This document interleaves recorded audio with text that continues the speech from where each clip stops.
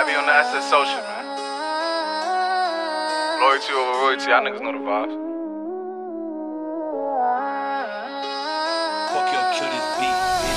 Fuck your kill this beat, bitch. woke it.